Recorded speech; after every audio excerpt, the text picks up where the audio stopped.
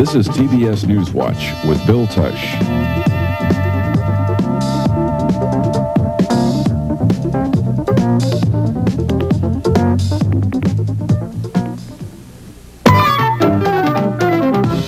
Stay with the Superstation as Newswatch continues. This is WTBS, Atlanta, Georgia.